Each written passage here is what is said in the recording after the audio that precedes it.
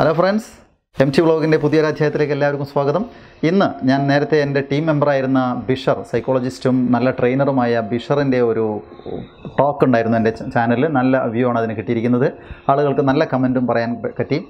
ആ ബിഷറിന്റെ കുട്ടികൾക്ക് വേണ്ടിയുള്ള നല്ലൊരു മോട്ടിവേഷൻ ക്ലാസ്സിന്റെ ഒരു ചെറിയ പാർട്ട് ഒരു പത്ത് മിനിറ്റ് പാർട്ട് മാത്രം നല്ല മനോഹരമായ പാർട്ടായതുകൊണ്ട് നിങ്ങൾക്ക് വേണ്ടി ഞാൻ എന്റെ ചാനൽ അപ്ലോഡ് ചെയ്യാണ്. മുഴുവൻ വിദ്യാർത്ഥികളും അവരുടെ രക്ഷിതാക്കളും അങ്ങനെയുള്ളവരൊക്കെ കണ്ടു കഴിഞ്ഞാൽ തീർച്ചയായും നിങ്ങൾക്ക് ഗുണം ചെയ്യുന്ന ഉറപ്പാണ്. അതുകൊണ്ട് ഞാൻ സമയം കളയുന്നില്ല നമുക്ക് നേരെ ക്ലാസ്സിലേക്ക് പ്രവേശിക്കാം. ഗുഡ് ആഫ്റ്റർനൂൺ നിങ്ങൾക്ക് തൊട്ടടുത്ത ദിവസം പരീക്ഷ വരികയാണ് അല്ലേ? അല്ലേ? നന്നായി പഠിച്ചോ? പഠിച്ചതൊക്കെ ഓർമ്മയിലുണ്ടെന്ന് ഉറപ്പുണ്ടോ? ഓർമ്മയുണ്ടെന്ന് ഉറപ്പില്ല. മറന്നു എന്ന് ഉറപ്പുണ്ടോ? അവിടെയാണ് ഉറപ്പ് അല്ലേ?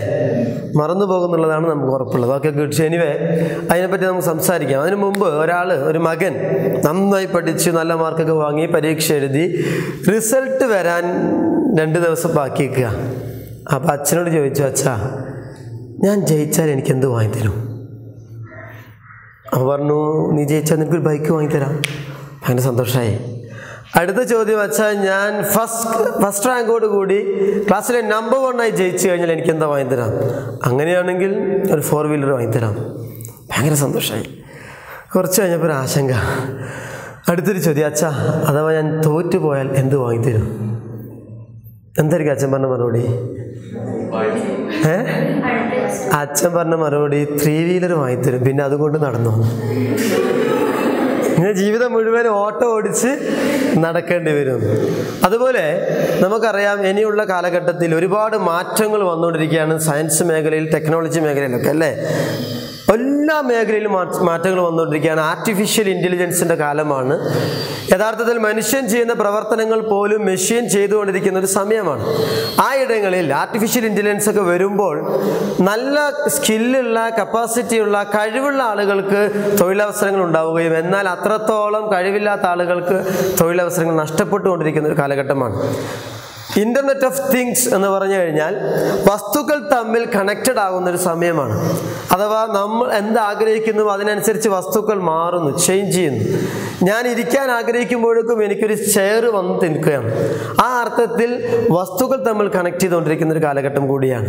ആ അർത്ഥത്തിൽ മാറുന്ന ഈ ലോകത്തേക്ക് ഭാവിയുടെ വാഗ്ദാനങ്ങളായി മാറുന്ന നിങ്ങൾ നന്നായി പഠിക്കുക എന്നുള്ളത് നിങ്ങളുടെ ഏറ്റവും വലിയ ടാർജറ്റാണ് നിങ്ങളുടെ മനസ്സിൽ ഉണ്ടാകേണ്ട വലിയ ടാർജറ്റാണ് നന്നായി പഠിക്കുക എന്നുള്ളത്. അതിന് നിങ്ങൾ ഒരുപാട് കാര്യങ്ങൾ ശ്രദ്ധിക്കേണ്ടതുണ്ട്. ആദ്യം വേണ്ടത് നല്ല കോൺഫിഡൻസ് ആണ്. യെസ് ഐ ക്യാൻ പക്ഷെ നമുക്കൊരു പ്രശ്നമുണ്ട്. എന്താണെന്ന് വെച്ച് കഴിഞ്ഞാൽ യെസ് എന്ന കാര്യത്തിൽ സംശയമാണ്. ഓർമ്മ ഉണ്ടാവുമെന്ന് വെച്ചാൽ ഉണ്ടാവുമായിരിക്കും. മറന്നു പോകുമെന്ന് ചോദിച്ചു കഴിഞ്ഞാൽ അഥവാ നോ എന്ന കാര്യത്തിൽ ഉറപ്പാണ്. അത് കൺഫേമാണ് മറന്നു പോകും, ഉറപ്പാണ്. അമറേറ്റ് അത് നമ്മുടെ മനസ്സിന്റെ ഒരു പ്രശ്നമാണ്. നമുക്ക് എന്ത് ഇല്ല അല്ലെങ്കിൽ എന്ത് അറിയില്ല എന്ത് എന്ത് നെഗറ്റീവ് ഉണ്ട് ആ കാര്യം കൺഫേം ആണ് ഉറപ്പിച്ചു വെച്ചിരിക്കുക നമ്മുടെ മനസ്സിൽ. എന്നാൽ നമ്മുടെ കഴിവുകളെ കുറിച്ചും എനിക്ക് നന്നായി പാട്ട് പാടുന്ന ഒരാളുണ്ട്. ആരാ നന്നായി പാട്ട് പാടുന്ന ഒരാൾ?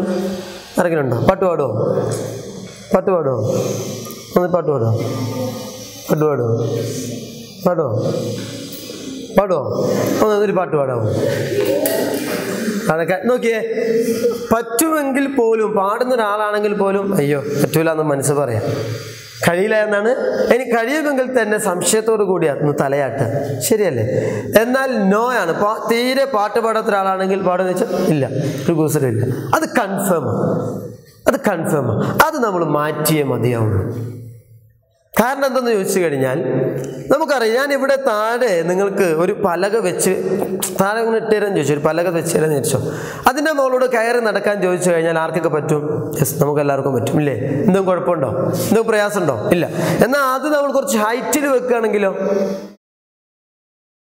ഹൈറ്റിൽ വെക്കുകയാണെങ്കിലോ? ആരൊക്കെ തയ്യാറാകും നടക്കാൻ? ആരൊക്കെ തയ്യാറാകും നടക്കാൻ? No one is ready to walk എന്താ കാരണം? താഴെ വെച്ച അതേ പലകയുടെ മുകളിൽ നടന്നപ്പോൾ വീണോ? വീണിട്ടില്ല. ഒന്ന് ചെരിഞ്ഞോ? ചെരിഞ്ഞിട്ടില്ല. പക്ഷെ അതേ പലക ഹൈറ്റിൽ വെക്കുമ്പോഴേക്കും താഴെ നടക്കാൻ പറ്റുന്നത് പോലെ അവിടെ നടക്കാൻ കഴിയണ്ടേ? ആലോചിച്ച് കഴിയണ്ടേ? കാരണം വേറെ മാറ്റമൊന്നുമില്ലല്ലോ. ഇളകുന്നില്ല. ഒരു ചേഞ്ചും ഇല്ല. പക്ഷെ എന്തേ പ്രശ്നം? അവിടെ സാറെ പിടിക്കാനൊന്നും ഇല്ലല്ലോ. മേലെ പിടിക്കാനൊന്നും ഇല്ലല്ലോ. താഴെ ഉണ്ടായിരുന്നോ? താഴെ ഉണ്ടായിരുന്നോ? ഇല്ല. മേലെ എന്തുകൊണ്ട് വേണം? അപ്പൊ മേലെ നമ്മൾ നടക്കുമ്പോൾ നമ്മുടെ മനസ്സിലേക്ക് ആദ്യം വരുന്ന ഫസ്റ്റ് തോട്ട് എന്ന് പറഞ്ഞാൽ വീഴൂലെ എന്നുള്ള ഒരു ചിന്തയാണ്. വീഴൂലെ എന്നുള്ള ചിന്ത കൊണ്ട് നടക്കുന്നത് കൊണ്ടാണ് അവിടെ വീഴാനുള്ള സാധ്യത. ഇല്ല എന്നുള്ള ആത്മവിശ്വാസത്തോടു കൂടി ഉറപ്പോടു കൂടിയാണ് നടക്കുന്നതെങ്കിൽ വീഴാൻ സാധ്യതയില്ല. വീടില്ല. കാരണം താഴെയുള്ള അതേ അറ്റ്മോസ്ഫിയറിന്റെ മേലെയും വലിയ മാറ്റമൊന്നുമില്ല.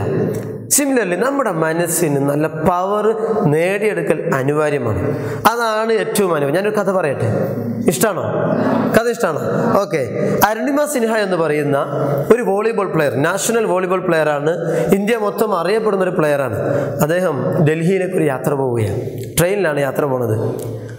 ട്രെയിനിൽ പോണത് എക്സൈസ് കമ്മീഷൻ ഓഫീസറിൽ ഒരു എൻജുവിന് വേണ്ടി പോവാം. പോകുന്ന സമയത്ത് നോർത്ത് ഇന്ത്യയുടെ ഒരു ഒരു എന്താ പറയുക ആൾ ആളുകളില്ലാത്ത ഒരു സ്ഥലത്തെത്തിയപ്പോൾ കുറച്ച് കൊള്ളക്കാർ ആ ട്രെയിനിലേക്ക് കടന്നു വന്നു. എന്നിട്ട് കൊള്ളക്കാർ വന്നിട്ട് പലതും കൊള്ളയടിക്കാൻ തുടങ്ങി. പലരുടെയും മാലയും സ്വർണാഭരണങ്ങളൊക്കെ കള്ളയടിക്കുന്ന സമയത്ത് അരുണിമ സിൻഹയുടെ കഴുത്തിൽ ഒരു താലിമാല ഉണ്ടായിരുന്നു സ്വർണത്തിന്റെ. ഒരാൾ പോയിട്ട് ആ താലിമാല പിടിച്ച് പൊട്ടിക്കാൻ വേണ്ടി ശ്രമിച്ചപ്പോൾ സ്പോർട്സ്മാൻ സ്പിരിറ്റോട് കൂടി അതിനെ പ്രതിരോധിച്ചു അരുണിമ സിൻഹ. തന്റെ കൈകൾ കൊണ്ട് ശക്തമായി പ്രതിരോധിച്ചു. ആ പ്രതിരോധ സമയത്ത് ആ കൊള്ളക്കാരന്റെ മുഖത്ത് അടി കിട്ടിയപ്പോൾ പെട്ടെന്ന് കിട്ടിയ അടിയായതുകൊണ്ട് അയാൾ അവിടെ താഴെ വീണു. താഴെ വീണപ്പോൾ ഒരു പ്രത്യേക ശബ്ദമുണ്ടാക്കിയിട്ട് അലറി വിളിച്ചു. അപ്പോൾ കൂടെയുള്ള എല്ലാ കൊള്ളക്കാരും ഓടി വന്നു.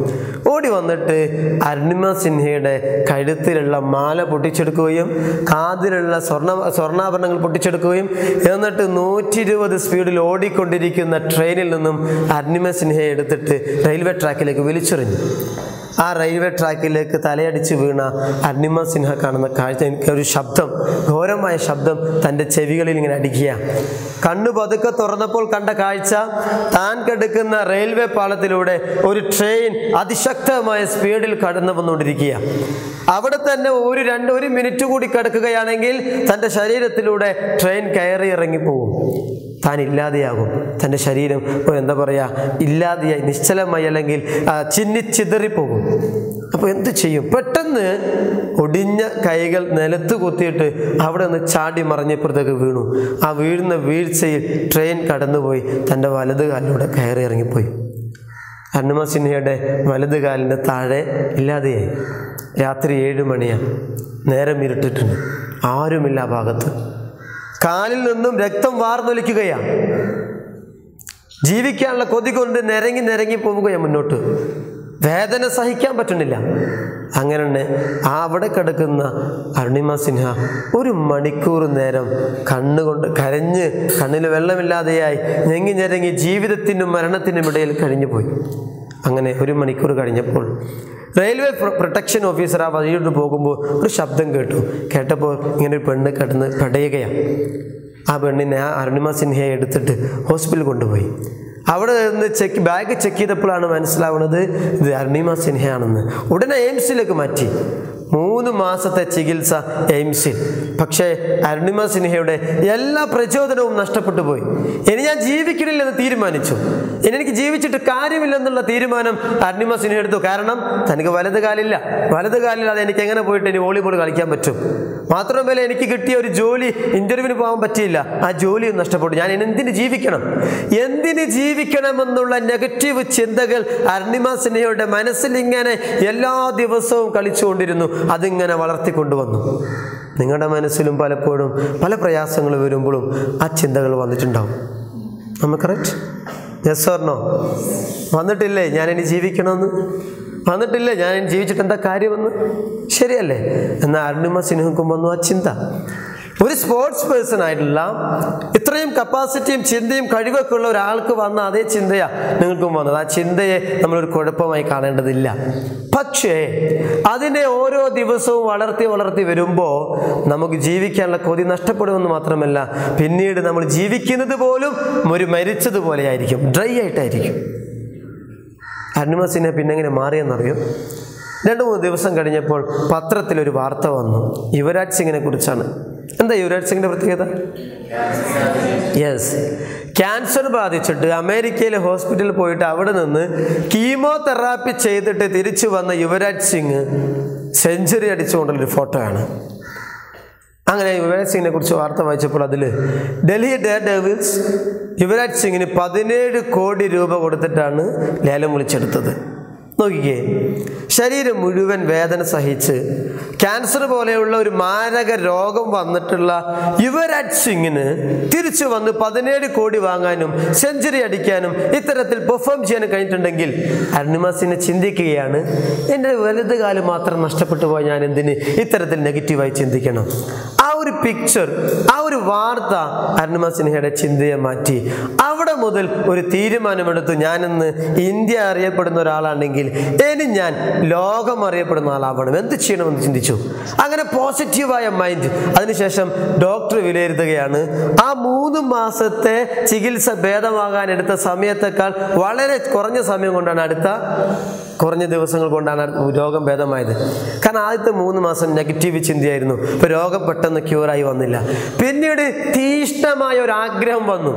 തീഷ്ണമായ ആഗ്രഹം വന്നപ്പോൾ അരുണിമ സിൻഹയുടെ രോഗവും പെട്ടെന്ന് ഭേദമായി. അങ്ങനെ വെപ്പുകാലിന്റെ സഹായത്തോടു കൂടി അരുണിമ സിൻഹ എവറസ്റ്റ് കീഴടക്കി. First Indian amputee who conquered the Everest ആരാ അദ്ദേഹം? അരുണിമ സിൻഹയാണ്. അദ്ദേഹത്തിന് ഖേൽരത്ന പല അർജുന അവാർഡ് കിട്ടി പല അവാർഡുകളും കിട്ടി.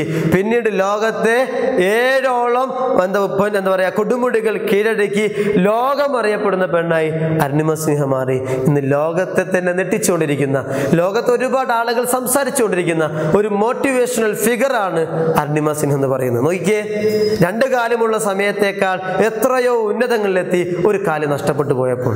എനിക്ക് നിങ്ങളോട് പറയാനുള്ളത് പരാജയങ്ങൾ ഉണ്ടാകും പ്രശ്നങ്ങൾ ഉണ്ടാകും നമ്മളെ തടയാൻ ഒരുപാട് കാരണങ്ങൾ ഉണ്ടാകും പക്ഷേ അതിൽ നിന്ന് കൊടുക്കാതെ അതിനെ മറികടക്കാൻ വേണ്ടി പരിശ്രമിക്കുക. മിസ്റ്റേക്സ് ഉണ്ടാവും. പരാജയങ്ങൾ ഉണ്ടാവും പരാജയപ്പെടുന്നത് ഒരു പ്രശ്നമല്ല പിന്നെയോ?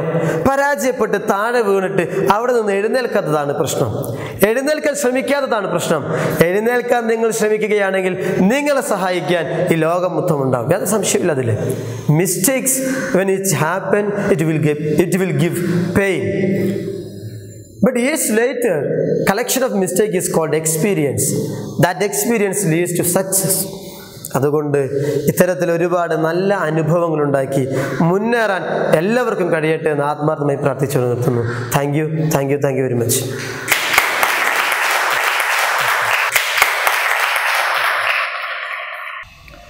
അപ്പോൾ പ്രിയപ്പെട്ടവരെ നിങ്ങൾക്ക് ഈ ക്ലാസ് ഇഷ്ടമായി എന്ന് കരുതുന്നു. വീഡിയോ ഇഷ്ടമായെങ്കിൽ സാധാരണ പറയാറുള്ള പോലെ നിങ്ങളത് ലൈക്ക് ചെയ്യുക. ഇഷ്ടമായിട്ടില്ലെങ്കിൽ ഡിസ്ലൈക്ക് ചെയ്യാം. അതുപോലെ തൊട്ട് താഴെ ഈ ഇൻഫർമേഷൻ മറ്റുള്ളവർക്ക് ഷെയർ ചെയ്യണം തോന്നുകയാണെങ്കിൽ ഒരു ഷെയർ ബട്ടൺ കാണാം. അത് ക്ലിക്ക് ചെയ്ത് ഷെയർ ചെയ്ത് കൊടുക്കുക.